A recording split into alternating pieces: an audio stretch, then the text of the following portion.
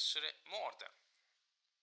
Paul è un ragazzo prodigio, appassionato di elettronica, ammesso a un centro medico di ricerca per i suoi riusciti esperimenti sul cervello umano.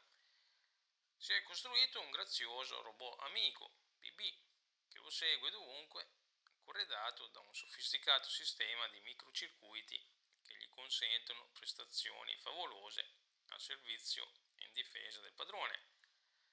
All'amicizia dell'inseparabile BB si aggiunge quella di Tom, uno scolaretto che distribuisce giornali nelle ore extrascolastiche e assiste ammirato alle intelligenti realizzazioni di Paul, resistendo con lui alle nevrotiche rimostranze di una vicina velenosa la quale riesce a distruggere il loro amato robot.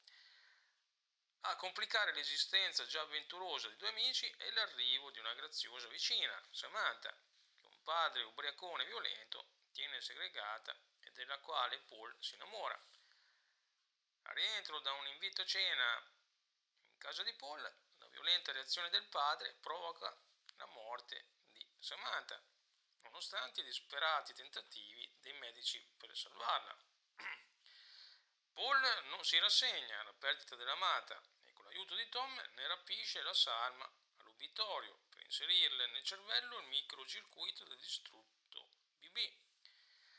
Dunque, abbastanza originale e accattivante nella prima parte, ruotante intorno alle imprese divertenti di BB, il film perde quota nella seconda, quando traduce in horror le straordinarie possibilità del microcircuito di BB, che trasferito sul cervello di Samantha la trasforma in una vendicativa Erinni, irrazionale e truculenta.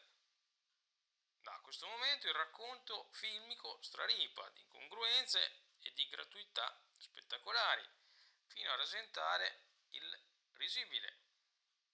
La precarietà dell'impianto narrativo e le pesantezze verbali rendono il film assai discutibile.